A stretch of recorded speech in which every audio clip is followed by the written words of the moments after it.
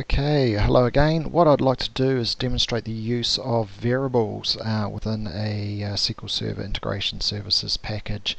And I use um, variables um, to in situations where I need to filter records. So for example, if we're pulling uh, in a within a package merging multiple files together, so say three files, one's uh, say a bill amount file and one might be relate to the customer's use of SMSs and a, another one might relate to say the customer's use of broadband and we want to merge all three of those files and each of those files contains multiple months of data.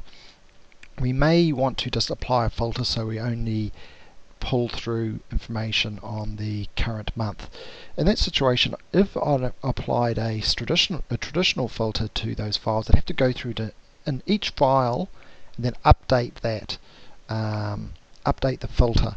And that becomes a bit of a pain, particularly if we're running that package every month. We then have to go into each one of those places where we've got a filter and then um, apply that. So what uh, variable does is it helps us and it means we just have to update that filter in one location. So what I'll do is I'll create a new package and I'll call this um, variables uh, variable um, call it variable and then variables filter because I want to use a variable in conjunction with a filter. What I'll do, need to, as demonstrated in previous uh, demos, need to start off with a data flow task uh, as an envelope. Then I'll pull through a, want to pull through multiple flat file sources. So we'll pull in some segment information um, I'll need to create a new connection manager. Uh, we'll just call this segment browse.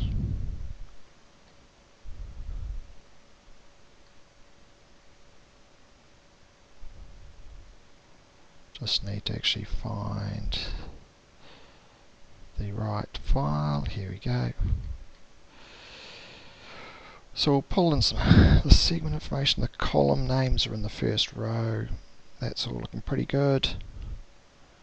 So here we go. We've got multiple multiple files. Ah, sorry, multiple records in there. Great.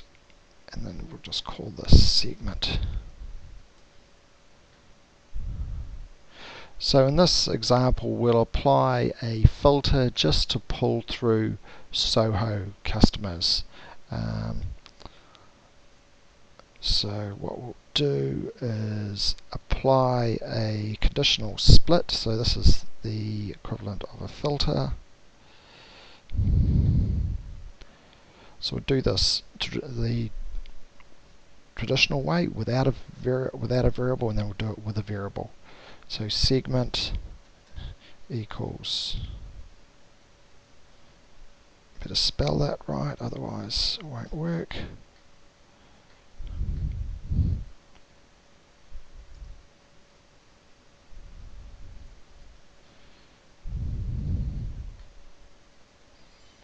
And then if we ran that transformation, so I'll connect it to a, another transformation there, but only to string a data viewer there. So we just want to look at the Soho segment information. Add a data viewer so we can see what the output is from from the um, from this conditional split. And when we run that, we should see only the Soho information um, passes through the conditional split. So we have 23 rows of data, goes through the conditional split uh, to apply the filter, only Soho information and 4 pop at the other end. So that's fine in a situation where we only have one uh, data source, but uh, but if we've got multiple streams of uh, of of data within the um, within the package, we would then have to apply a filter to each one of those if we wanted to filter them all down the same way. But what we can do is create a variable. And what you do is you just go onto the um, onto the workbench, right click, at the top there is variables. And what we'll do is create a user defined variable. So we add a variable.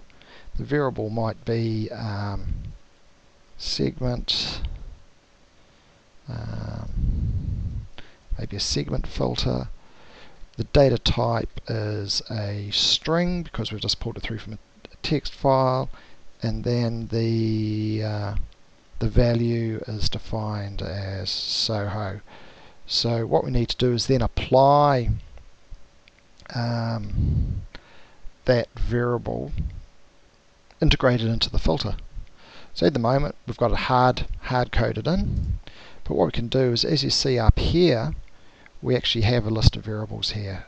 So segment has now appeared. We can add that in. Oh, got it. Say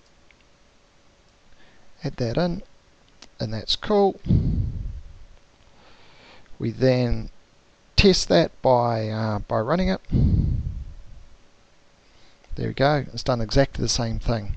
And the handy thing about using that variable approach is debug, stop debugging, is if we had multiple filters to apply. So I'm just going to copy this and paste it and again so this is a replicate paste it can it'll then work across all of the of these um, all of these little um, uh, I don't know what they're called sub packages um, so debug.